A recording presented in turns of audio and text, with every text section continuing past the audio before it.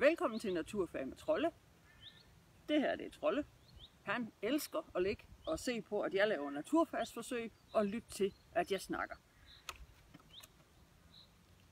Nå. Det er ikke dig. Og i dag skal vi lave et forsøg med natron, man kan også bruge bagepulver, og eddike. Og vi skal se, om øh, vi kan få det til at puste sådan en latexhandske her op. Man hælder lidt eddike i et glas.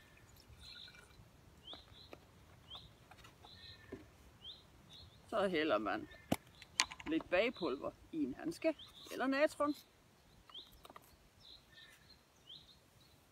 Godt ned i fingrene med det. Så sætter man handsken øh, hen over glasset her. Så trold, nu sker det. Er du klar? Se her. Og så hælder man pulveret ned i væsken.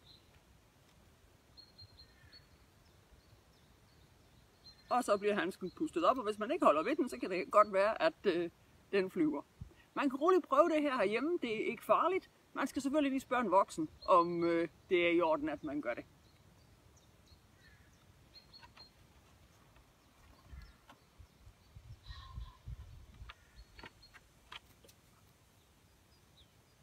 Hvad sker der egentlig nede i glasset? Ved du, hvad det er, der får handsken til at blive pustet op? Hvis ikke, så prøv at se, om du kan finde ud af det.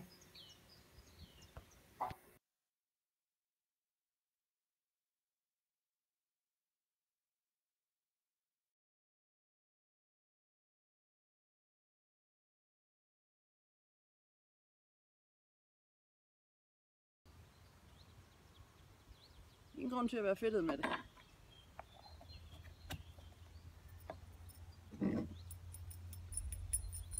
Så sætter vi handsken hen over glasset. Og det er godt med sådan et lidt stort glas. Trolde. Jeg prøver at se, er du klar? Er du klar?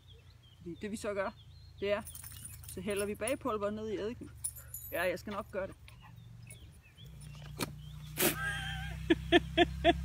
og så viser det sig, at jeg havde puttet en lille smule for meget i.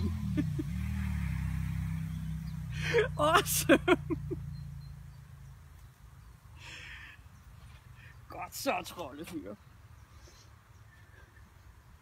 Så viser det sig, at jeg